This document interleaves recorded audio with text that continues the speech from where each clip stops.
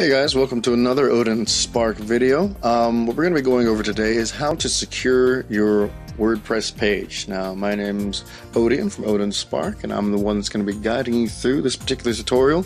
And it's pretty simple. As you can see, our current version is 3.4.1.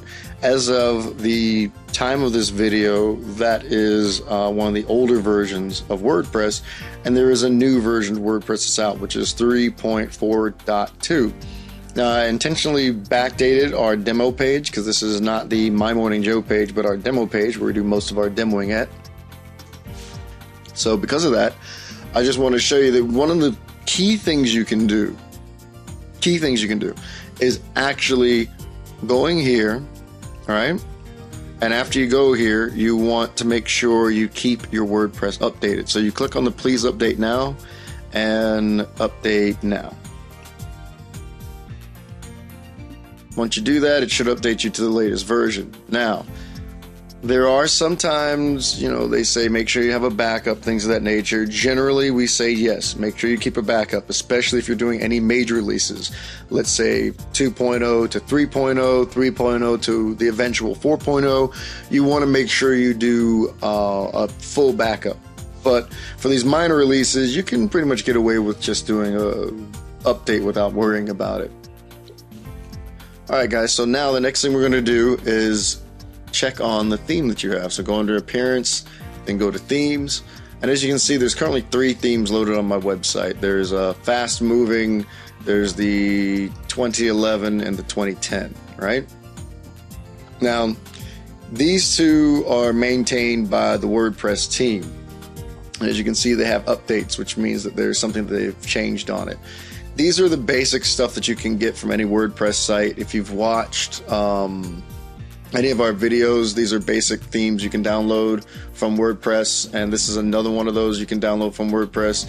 Uh, only you just do is go into the install themes area, just clicking here, and you can just select what kind of theme you want, and it will download to your page. Now, let's secure your page. One of the biggest security holes that I know of that are theme based is if a theme uses an application known as Tim Thumb. So what we're going to do here is I opened up this little file manager guy here and I actually navigated to let me show you where I navigated to.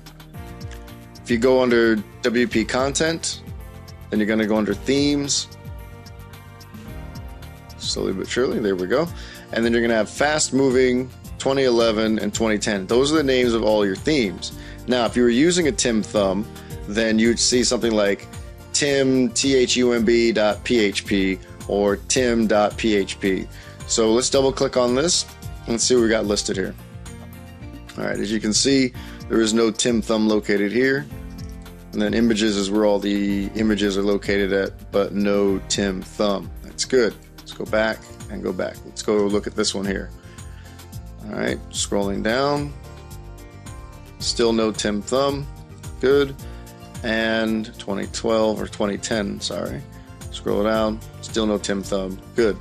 Now, if you did have a Tim Thumb in this directory, what you would do is find the file, click on the file, and what you would do is you could either rename it as its own file, like one Tim Thumb or underscore underscore Tim Thumb, something of that nature, or you could just delete the file by clicking the delete button. Now, if you have one of those, um, I'm going to show you what plugin to load to secure your website a little bit more. If you don't have one in your theme, you're pretty safe. You can skip this next step. But um, I would highly suggest this before we move on to the next step. I highly suggest this is that if you have this theme, delete the other themes. All right, so delete, and hit OK, and delete, and hit OK. Here's the reason. And if we go back to the file manager, you'll see what I mean. go back one. Now you only have one theme. Here's the issue is that security holes are exploited all the time. Now, those two themes that I just deleted are the most basic themes that are installed on every WordPress page out there. So, with that being one of the base themes, most hackers know if there's a security hole in one of those themes and they know that you didn't update to the latest version, unless you deleted them, they're going to be sitting there just waiting to be exploited. So your best thing to do is just to delete any extra themes that you're not using.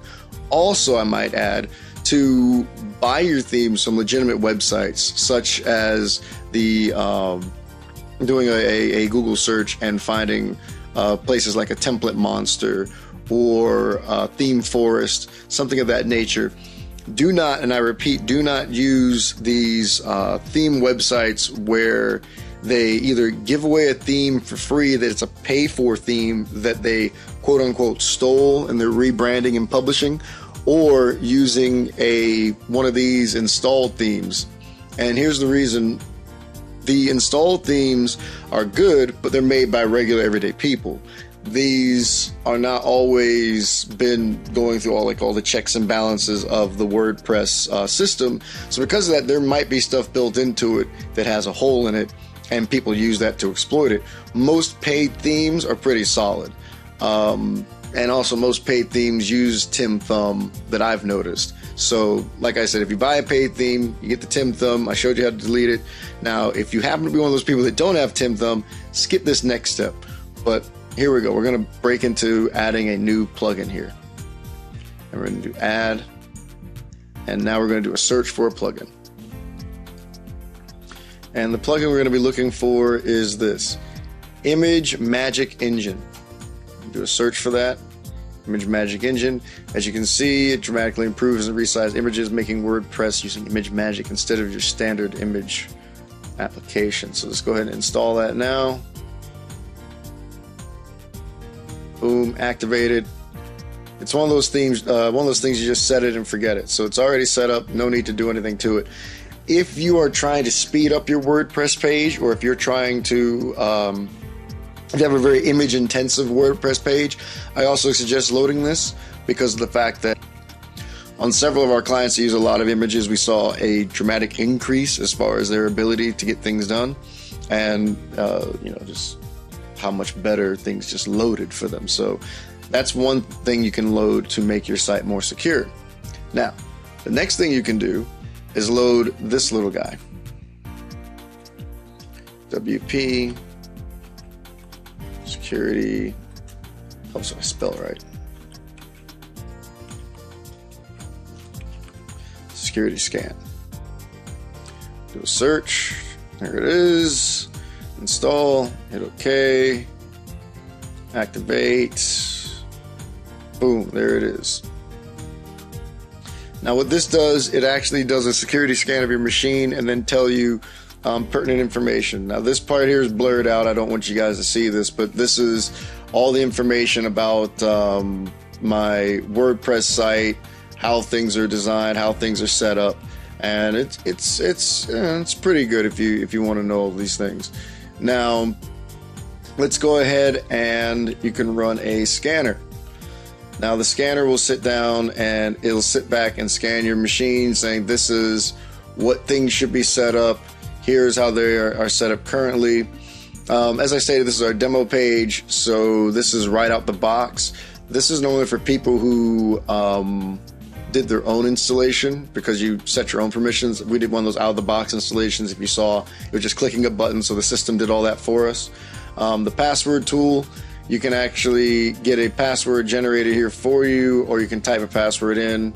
Um, you got your database part where you can run a backup of your database, uh, which is all great and lovely like that there. So go through this tool. It will tell you what things need to be fixed, what things need to be changed to make your site a little bit more secure, which is something that all of us need. Next thing is you can do add another plugin.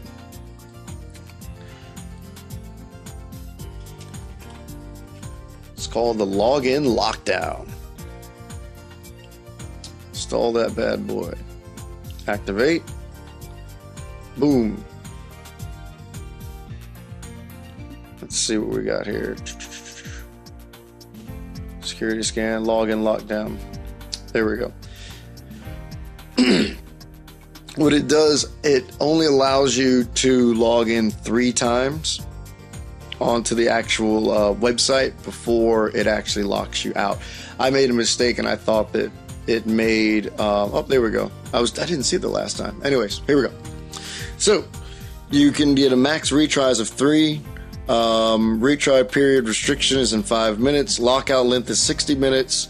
Lockout individual usernames, you can set yes or no. Mask login errors, yes or no.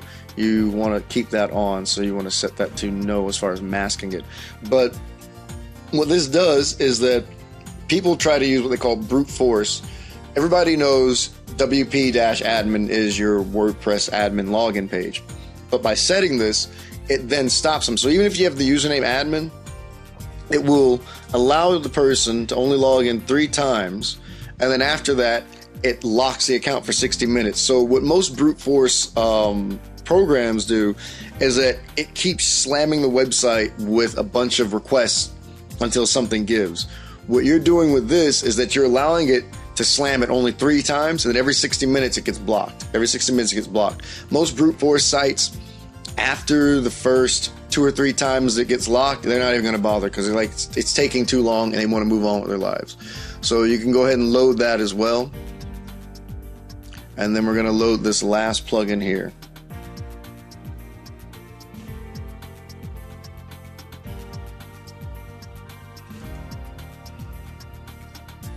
This is AskApache Password Protect. And don't worry, I'll put all the names of this stuff in the um, in the uh, description of the video. Okay, we're going to activate this plugin. And there we go. Okay, new version is coming soon. All right, so basically what it's doing is it's adding this long string of codes and it's going to make sure that in your dot access, which is I'm saying dot dot ht access uh, location, that it has this in here that will prevent people from just bombarding your website. So we're going to initiate the test. Okay, functionality, all greens. So got one one little red guy here. So this is an issue needs to be looked at. This is an issue needs to be looked at. Good here needs to get looked at.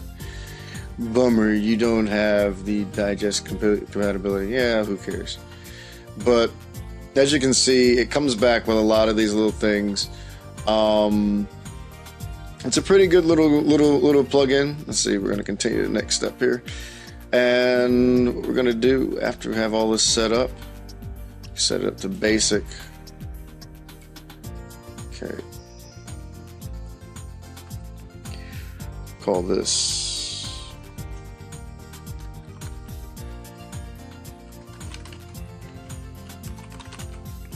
Okay.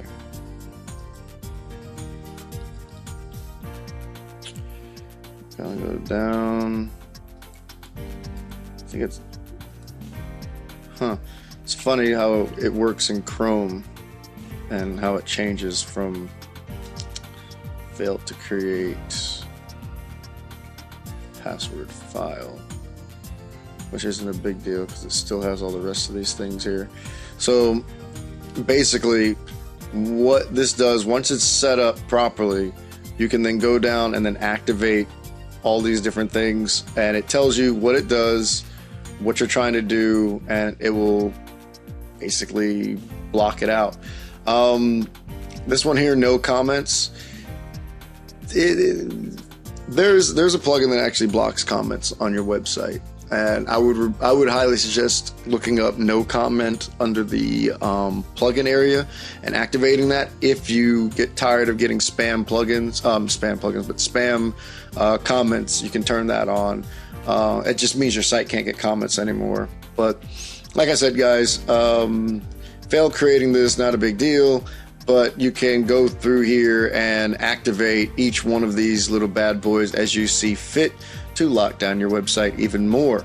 It might require you to know a little bit about what's going on, but thanks to these lovely little descriptions, you get an idea of what to use and what not to use. But that's it. I know this was a particularly long video, but securing your website is worthwhile. I mean, Seriously, they, I can't even tell you when we first started doing WordPress pages that we pretty much thought WordPress was uh, pretty secure, but the more and more we implemented WordPress on different clients, we noticed that WordPress is pretty much a what they call a vanilla program, which means that it doesn't have much to offer. You have to make it what you want it to make it. So, with all that being said, guys, I hope this helped you guys a lot. I hope you learned a lot about securing your WordPress pages, and I hope that you guys actually can sit down now and take 30 minutes out of your day lock down that WordPress page of yours so these hackers won't be taking over your websites because there's nothing more discouraging to me than to wake up and see that your site was hacked. All right. So, from all the people here at OdinSpark.com, we thank you for watching this video. We ask you to tell people about us on Twitter and Facebook, like this video, share it with your friends, tell more people about us, and subscribe to the channel. All right. So, from Odin here from OdinSpark.com, I just want to thank you for listening to this video. And uh, hey, I guess we'll go ahead and do another video coming up real soon. And uh, you might want to check in because uh, the video is going to be about how to optimize your WordPress page. See what we did there? We showed you how to secure it. Next thing we're going to do is show you how to optimize it. So tune in next time as we show you how to optimize your WordPress page. Till then, talk to you later.